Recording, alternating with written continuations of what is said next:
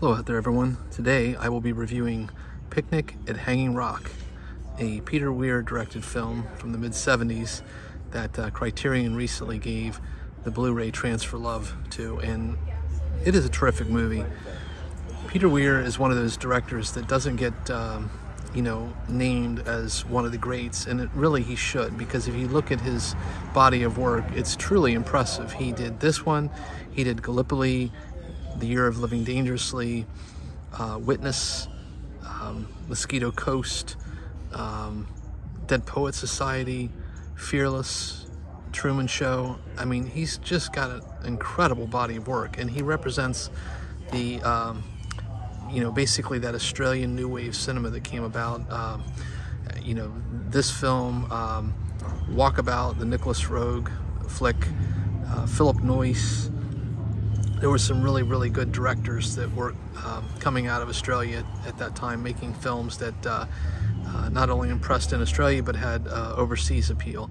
And this film is one that uh, absolutely warrants a watch. It's a really very surreal, picturesque, and beautiful film that uh, has a an ability like you know a, a rare ability I should say to continue to make itself after you've watched the movie because there is really no resolution. And that was a criticism uh, lobbied, uh, levied by some as being uh, one of the flaws of the film, that it doesn't have a nice resolution.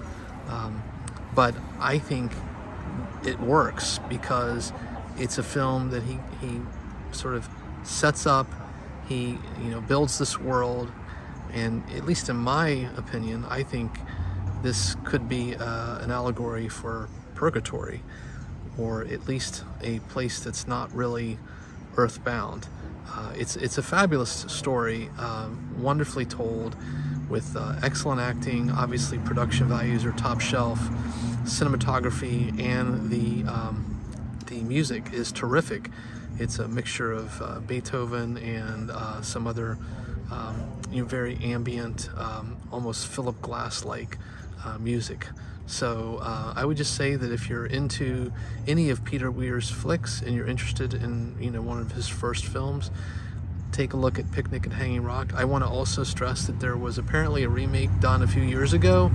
Uh, I have not seen it, but I've not heard good things. This is the original Gangster, the film directed by Peter Weir. This is the one that you should uh, certainly watch.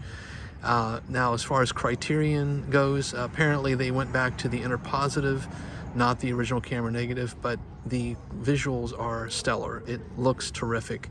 Uh, the grain structure is intact and uh, the sound is terrific. I, I, have no qualms whatsoever about the video and audio transfer. And it also includes some really interesting um, supplemental features as per usual with Criterion. So with that, I would just say look for Picnic at Hanging Rock, uh, especially this Criterion release sit down and prepare to be entertained. Thank you all, take care, and until the next time.